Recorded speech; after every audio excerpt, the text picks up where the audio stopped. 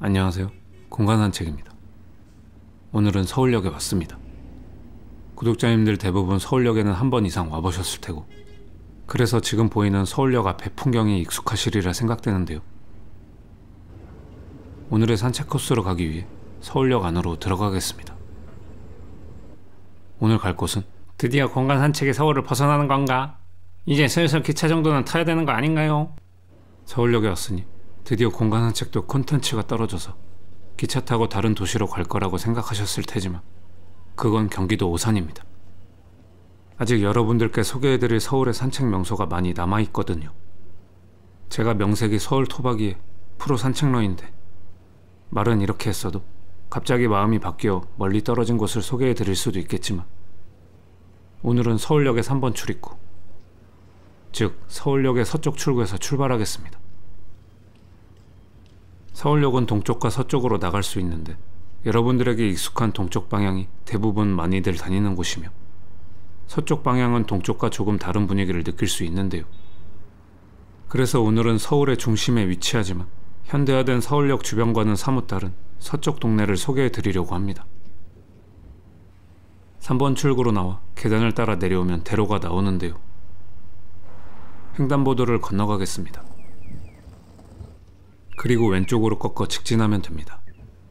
서울역의 반대편으로 왔을 뿐인데 굉장히 한산한 모습입니다. 그래서 저는 기차 시간이 많이 남았을 때 이쪽에서 시간을 보내는데 별다방도 있고 이쪽에 좋은 카페들이 많거든요. 우리나라는 카페 천국이잖아요. 주절거리며 걷다 보면 붉은 간판이 하나 나옵니다.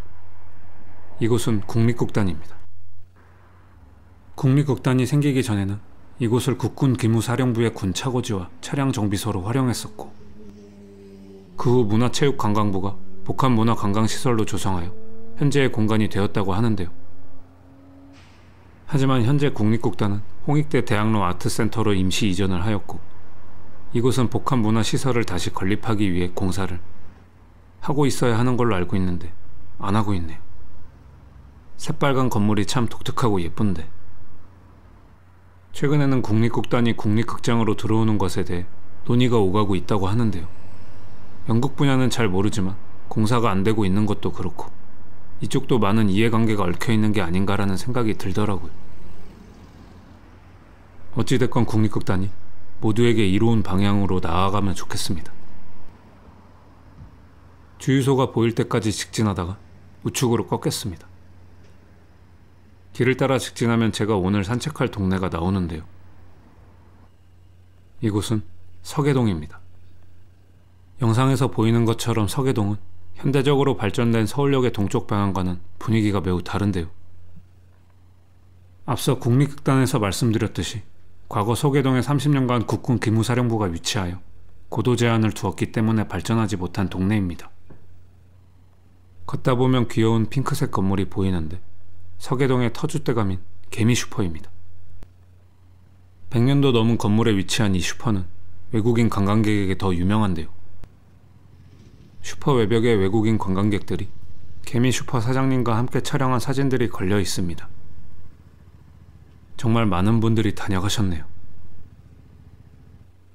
개미 슈퍼는 TV 방송에서도 몇 번 소개된 적이 있기 때문에 아시는 분들이 많으실 것 같습니다. 작은 슈퍼임에도 불구하고 이렇게 친절하게 영어로 쓰여 있으니 관광객분들이 좋아하지 않을 수가 없겠더라고요.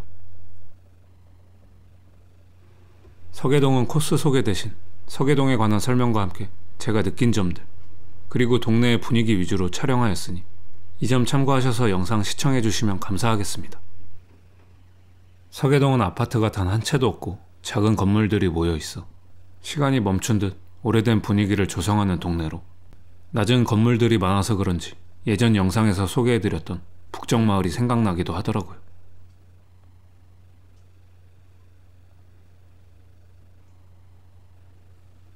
서계동을 산책하다 보면 봉제 관련 공장이나 가게들을 많이 볼 수 있습니다.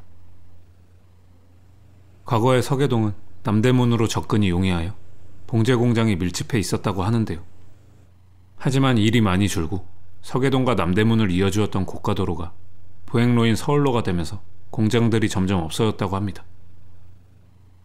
이런 서계동도 과거에 재개발 계획을 강행하여 꽤 논란이 있었는데 당연히 주민들의 반응은 시큰둥했고 그 이후 재개발 사업도 번번이 탈락하게 되었다고 하네요. 현재 계획이 어떤지는 저는 잘 모르지만 주민분들께 좋은 방향으로 진행되면 좋겠다는 생각이 들었습니다. 동네를 걷다 보면 특이한 점을 발견할 수 있는데요. 이 동네에서 외국인 관광객분들을 꽤 볼 수 있었다는 점입니다.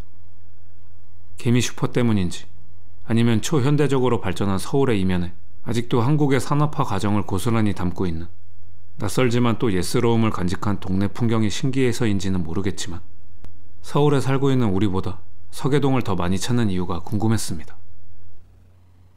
서울역을 기준으로 서쪽으로 가다 보면 급경사에 오르막이 나오고 계속해서 오르막을 따라 걷다 보면 정말 오래되어 보이는 만리 목욕탕이 있습니다. 저희 동네 목욕탕은 코로나를 버티지 못하고 폐업해버려서 동네 목욕탕을 찾는 것이 힘든데 오랜만에 이런 목욕탕을 보게 되니 괜히 반갑더라고요. 갈림길에서는 오른쪽 방향으로 갈 건데 역시나 급경사가 준비되어 있으니 이 점 산책에 참고 부탁드립니다.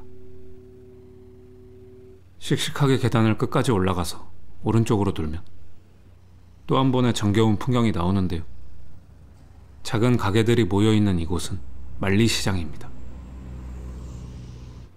만리시장에는 멋진 전망을 볼 수 있는 곳이 있는데요. 시장 내부로 들어가겠습니다.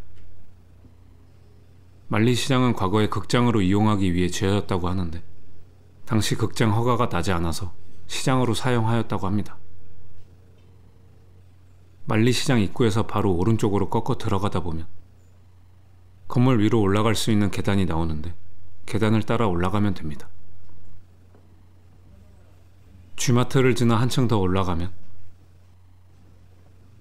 2층은 co-working factory로 각 호실별로 봉제 공장들이 남아 있습니다. 여기서 한층 더 올라가면 옥상이 나오는데요.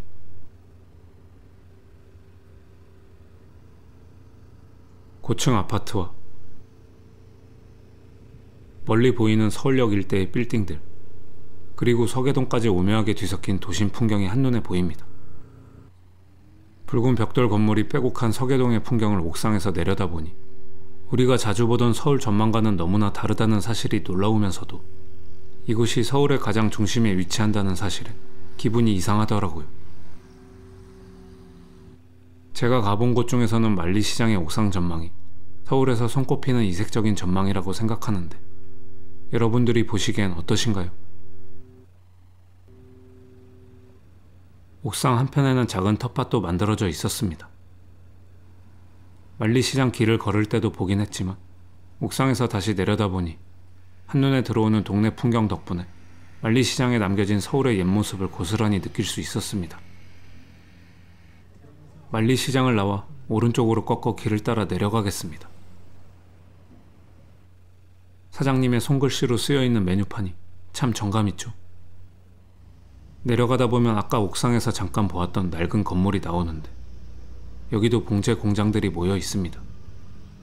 서계동 동네를 산책할 때 보았던 소규모 봉제 공장은 다른 곳에서도 본 적이 있는데 이런 큰 건물에 모여 있는 건 처음 보네요.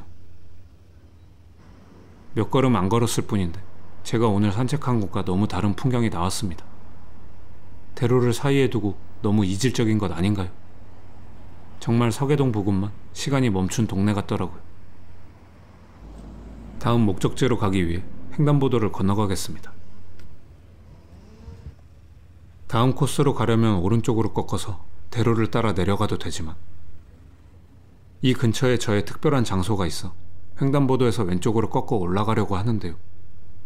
목적지까지 조금 더 둘러가는 길이라 산책 시간이 여유 있으신 분들은 지금 코스를 참고해 주시면 되고 곧바로 목적지로 가시고 싶으신 분들은 횡단보도에서 대로를 따라 내려가시면 됩니다. 정면에 있는 횡단보도를 건넌 뒤 바로 다음 오른쪽 샛길로 들어가겠습니다. 그러면 정면에 알록달록한 초등학교 건물이 보이실 텐데요. 이곳이 저의 특별한 장소. 네, 저의 모교 소희초등학교입니다. 아, 다들 모르셨겠지만 저는 초등학교가 아닌 국민학교 졸업생입니다. 공간 산책 구독자님들 중 초등학교 졸업생분들은 전체의 5%로 3만 6천 명의 구독자님들 중 1,800분 정도이시겠네요. 오, 생각보다 꽤 많은데. 참고로 지금 초등학교 재학 중이신 구독자님들은 단 한 분도 안 계신다는 점 참고해 주시길 바라며 오른쪽 계단으로 올라가겠습니다. 계단 끝에서 갈림길이 나오면 왼쪽으로 꺾겠습니다. 윗길에서도 소희 초등학교가 내려다 보이더라고요. 제가 다녔을 시절엔 건물이 하나 더 있었던 걸로 기억하는데 오랜만에 왔더니 건물이 하나 없어졌더라고요. 라떼는 학년별로 10반까지 꽉꽉 찼었는데 말입니다. 계속해서 길을 따라 걷다 보면 우측 담장 위로 이국적인 건물이 하나 보이는데요. 이곳 또한 저의 특별한 장소, 저의 모교인 환일고등학교입니다. 건물은 지금 봐도 참 멋진데 지하철역도 멀고 오르막이어서 등하굣길이 너무 힘들었었던 기억이 새록새록 나더라고요. 혹시라도 소이초, 환일고 출신의 선 후배님이 계시다면 댓글로 남겨주세요. 학연 지연을 따지면 안 되는 시대이지만 하트와 함께 좋아요를 눌러드리겠습니다. 소통은 저는 어릴 때 이사를 많이 다녀서 이 동네에서 학교를 나오긴 했지만 오래 살지는 않았거든요. 굉장히 오랜만에 왔는데도 불구하고 동네 분위기는 옛 모습 그대로네요. 다들 힘들었지만 소소한 정겨움이 있었던 그 시절을 떠올리니 괜히 마음이 뭉클해진 산책 시간이었습니다. 걷다가 송기정로 12길이라는 표지판이 보이고 우측에 오르막길이 보이며 오른쪽으로 올라가겠습니다. 경사길이 급하긴 하지만 추억에 잠겨서 타박타박 올라가다 보면 나도 모르는 사이에 이렇게 금방 정상까지 올라갈 수 있고 가벼운 마음으로 다시 내리막길을 따라 내려가면 됩니다. 오른쪽에 있는 보행로를 따라 걷다가 왼쪽 횡단보도로 건너겠습니다. 그리고 오른쪽으로 내려가면 되는데요. 정면에 붉은 벽돌 건물이 보이면 잘 오신 것 맞습니다. 멋스러운 나무 덩굴이 가득한 붉은 건물이 있는 이곳은 오늘 세 번째 목적지인 송기정 공원입니다. 저는 저의 모교를 거쳐서 왔기 때문에 공원 뒤쪽으로 들어왔지만 만리시장에서 대로변을 따라 내려가시면 공원의 정문으로 갈 수 있으니 이 점 산책에 참고해 주시면 감사하겠습니다. 송기정 공원은 우리가 잘 알고 있는 마라톤 금메달 리스트인 송기정 선수를 기념하여 조성하였는데요. 공원 내부에 문화체육센터와 도서관 등이 있어 많은 주민분들이 편리하게 이용하시는 것 같았습니다. 촬영날의 날씨는 매우 흐렸지만 공원의 붉은색 건물들은 날씨와 상관없이 참 멋지더라고요. 날씨가 좋다면 더욱 예쁜 풍경을 볼 수 있겠죠. 산수유도 슬슬 피고 있는 게 이제 머지않아 봄이 성큼 다가올 것 같네요. 뒤쪽의 벽돌 건물과 노란 꽃이 대비되어 더 예쁘게 보였습니다. 공원의 중앙에는 손기정 기념관이 있는데 이곳은 과거 손기정 선수의 모교인 양정고등학교였다고 합니다. 아쉽게도 기념관의 휴무일인 월요일에 촬영을 했던 터라 관람을 하지는 못했지만 송기정 선수의 생애와 소장품 등이 전시되어 있으니 송기정 공원에 오셨을 때 기념관도 함께 둘러보시면 좋을 것 같습니다. 관람료도 무료거든요. 기념관 옆으로는 비석과 함께 송기정 선수의 동상이 있습니다.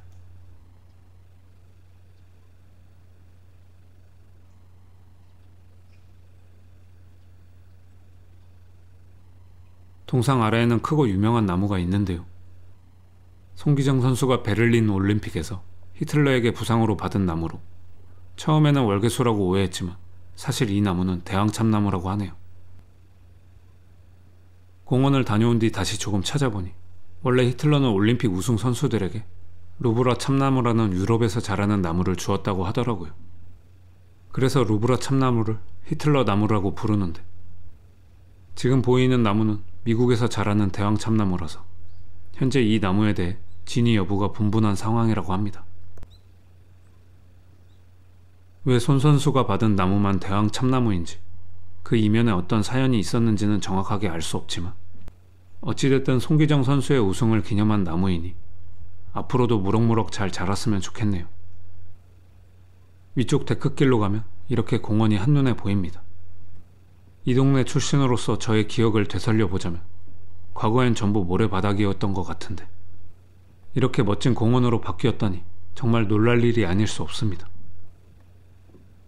여러분들도 송기정 공원에 꼭 와보셔서 공원 산책과 함께 그 시절 우리나라의 슬픈 영웅이었던 송기정 선수에 대해 한 번 더 생각해 볼 수 있는 시간이 되시면 좋겠습니다. 송기정 공원을 마지막으로 오늘 저의 산책 코스도 거의 끝나가는데요. 공원을 빠져나가 오른쪽으로 꺾어 내려가겠습니다. 오늘은 서울역의 서쪽 방향인 서계동을 산책한 후 저의 모교를 거쳐 송기정 공원까지 소개해 드렸는데요. 서울의 중심에서 과거와 현대가 함께 공존하는 분위기를 느낄 수 있는 곳이니 따뜻한 날씨에 산책하시며 다양한 의견 나눠주시면 감사하겠습니다. 대로가 나올 때까지 내려가면 정면에 익숙한 풍경이 보이네요. 바로 서울로 7017이죠. 다시 서울역으로 돌아왔습니다. 횡단보도를 건너 계단을 따라 올라가겠습니다. 서울로 7017은 노후화되었던 옛 서울 고가도로를 도시재생 사업을 통해 보행로로 조성한 공원인데요. 7017의 의미가 궁금했었는데 서울 고가도로가 신설된 1970년과 서울로로 탈바꿈된 2017년을 합쳐서 지었다고 합니다. 이렇게 낙후된 고가도로가 공원으로 조성되며 새로운 볼거리와 산책길을 제공해 주게 된 서울로가 또 다른 누군가에게는 삶의 터전을 잃게 하고 불편함이 된다는 것이 조금 쓸쓸한 마음이 드는 산책이었습니다. 서울로에서는 이렇게 서울역 일대를 조망할 수 있는데 다시 한번 느끼는 거지만 길 하나를 두고 서계동과는 완전히 다른 세상에 온 느낌이네요. 서울로 오른쪽에 있는 도킹 서울로 들어가면 서울역과 연결되어서 지하철을 타실 수 있는데요. 저는 근처에서 점심을 먹고 산책을 마치기 위해 남대문 시장으로 넘어가겠습니다. 서울로를 끝까지 걸어간 뒤 길을 건너 보도를 따라 직진합니다. 그러면 정면에 남대문 시장 5번 게이트가 나오고 바로 뒤쪽에 지하철 4호선 회원역 5번 출구가 있습니다. 다음에도 좋은 산책 코스로 찾아뵙겠습니다. 시청해주셔서 감사합니다. 오늘 점심 메뉴는 갈치조림입니다. 여러분들이 갈치 골목에서 자주 가시는 가게는 어딘지 추천해주세요. 제가 평소에 가는 곳은 그냥 줄 안 서는 곳입니다. 하하.